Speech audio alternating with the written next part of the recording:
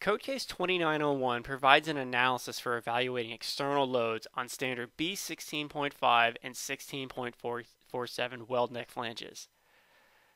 To activate this analysis and Compress, simply come up to the Codes menu, select ASME, and on the bottom of the dialog, check the option Use Codecase 2901. Then click OK.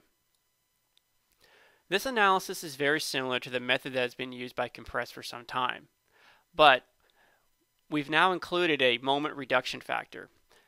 The moment factor is applied from Table 1 of the Code Case 2901. However, Compress has provided an input for a user-defined moment correction factor. This will allow the designer to reduce the moment factor used in the Code Case 2901 analysis.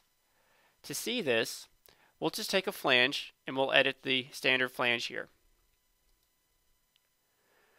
When you come to the flange dialog, you'll notice in the bottom right hand corner of the dialog, we've got our option to consider external loadings on the flange, but then we've also activated the user-defined moment correction factor. Here, we can adjust the moment factor for the analysis. I'll click OK, and click OK again. In the output report,